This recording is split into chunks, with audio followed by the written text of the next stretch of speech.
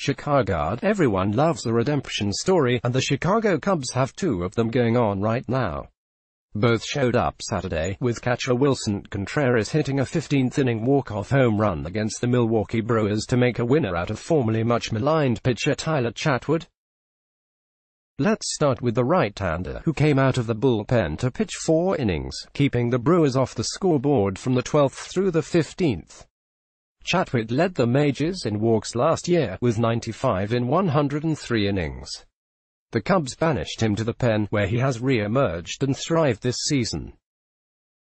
His walk percentage has gone from a whopping 20% to under 15, as he has been filling up the zone with some nastiness. Last year I knew I didn't lose my stuff, Chatwood said after the Cubs' 2-1 win Saturday.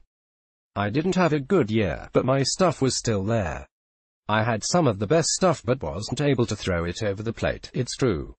Chatwood can spin the ball with the best of them while firing up a 97 miles per hour fastball. Finally, that has come into play for him in a Cubs uniform, and the team is reaping the unexpected rewards. The same can be said of Willson Contreras, who had just 10 home runs last season.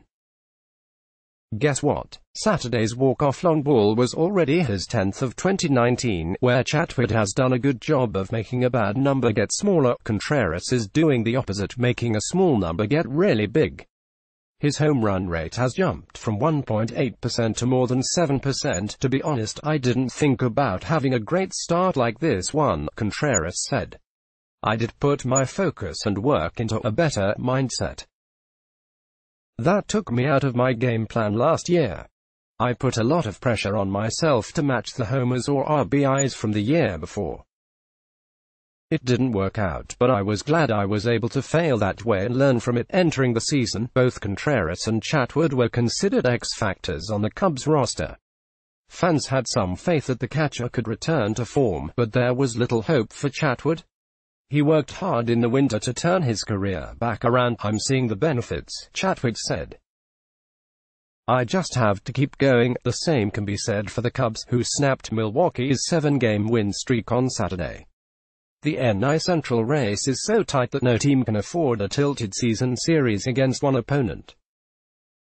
The Brewers had been trending in the right direction against the Cubs, winning three of four games to begin this season after taking the division title in Game 163 last year. If Saturday is a good indication, though, the final 14 games between these two teams should be plenty of fun. On this day, the guy who had to crouch for 15 innings said, enough is enough, through a drizzling rain, and to the delight of his starting pitcher on the day, Contreras continued to make his comeback tour epic. I know the type of power that he has and the threat that he is, Cole Hamels said, still cold from a long, freezing spring day. We were all talking about. I don't think he wanted to go out there for a 16th inning.